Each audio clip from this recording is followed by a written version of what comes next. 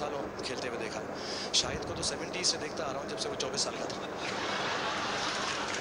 बहुत मारेगा मुझे शाहिद अफरीदी शोर अख्तर तो मिलकर बहुत मारेंगे मैं रियली सेवेंटीज़ में, मैं जब स्कूल में था, मैं शाहिद अफरी को देखता था, चौबीस साल का है क्रिकेट खेल रहा फिर मैं बड़ा हो गया कॉलेज गया पोस्ट ग्रेजुएशन की मुंबई में नौकरी ढूंढी हीरो बन गया 2007 में वापस आया हूँ, अभी भी चौबीस साल का ये Shahid Afridi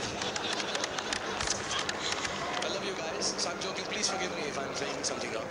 I love you guys. And what I'm going to do साथियों कि जब शाहिद खेल रहा हो।